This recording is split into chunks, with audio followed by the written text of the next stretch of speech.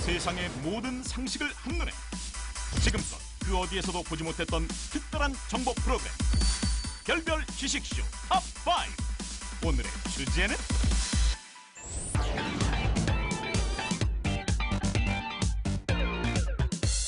글로벌 people들의 사랑을 듬뿍듬뿍 받으며 식욕과 침샘을 폭발시키는 우리의 영원한 soul food, 옥수수.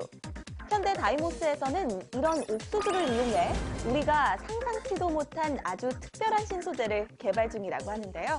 과연 어떤 것이 개발되고 있을까요? one punch three 강냉이 스킬을 시전해 주시며 글로벌 people들의 구강 건강까지 털어주시는 옥수수. 그런데 앞으로 보나 뒤로 보나 옆으로 보나 돌려 보나 평범하기 그지없는 옥수수가 신소재로 사용된다고요? 그 기상천외한 아이디어를 선보인 주인공은 바로 현대 다이모스.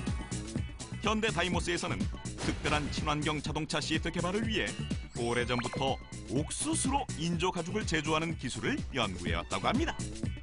이게 무슨 귀신 씨나락 까먹는 소리냐 하실 분들을 위해 간략하게 설명하자면 옥수수에서 추출한 프로판디올이라는 천연 성분을 인조 가죽 공정의 주 원료로 사용해 제작하는 방식이라는데요.